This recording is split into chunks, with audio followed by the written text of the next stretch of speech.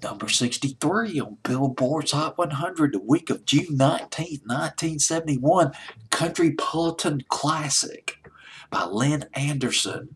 You're my man. Her follow-up to I Never Promised You a Rose Garden, which was, that song was written by Joe South and produced by a guy named Glenn Sutton. Glenn Sutton was one of the architects, along with Billy Sherrill, his sidekick, one of the architects of the countrypolitan sound of the 60s going into the 70s. Uh, it's country music. It's still country music. The bedrock is country, but there's a flourish of orchestral uh, arrangements on the records, and this this is a classic sample of it. A country record with an orchestra on it. Lynn Anderson, you're my man. Coming in at number 62 that week. No, actually, looking at the wrong notes, went from 64 to number 63 that week, June 19th, 1971. It peaked at number 63 on the pop charts, Hot 100, but it was number one on country.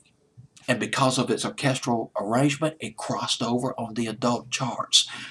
For a while, Lynn, uh, Lynn Anderson was a mass appeal artist, not just on country, but on adult as well.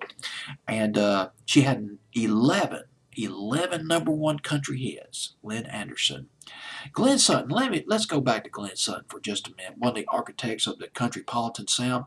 He co-wrote some of, he either wrote or co-wrote some of Tammy Wynette's hits, including Your Good Girl's Gonna Go Bad. I love that. Yes, Your Good Girl's Gonna Go Bad. Oh my goodness. Get into the torchy romance territory now. He also co-wrote one of her hits called Bedtime Story. That came out in 1972. Bedtime Story was produced by Billy Sherrill, uh, the uh, Tammy Wynette song. But let's talk about Lynn Anderson. Well, let's go back to Lynn Anderson, uh, coming in at number 63, the week of June 19th, 1971. This is You're My Man.